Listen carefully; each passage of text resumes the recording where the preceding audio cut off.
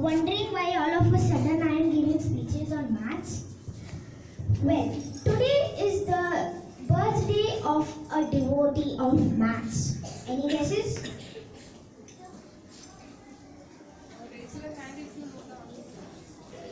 Okay, I will give you a hint.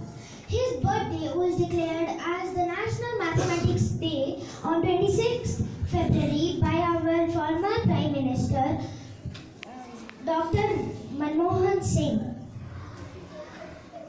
Yes? No. Okay, let me tell you the correct answer is Mr. Srinivasa Ramanu- Ramanujan. On 22nd, on 22nd December, India celebrates the National Mathematics Day Mr.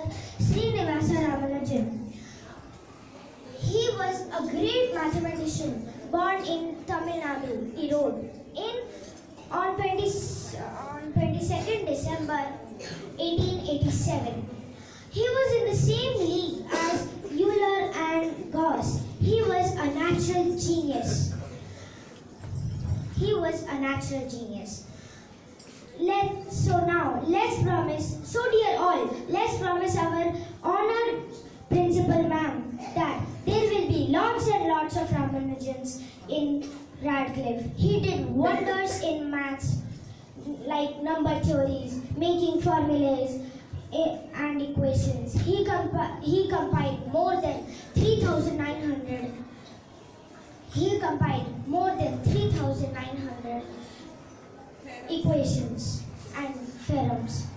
I hope you must have promised in your hearts there will be lots and lots of Ramanujans in Radcliffe. Thank you and have a nice day.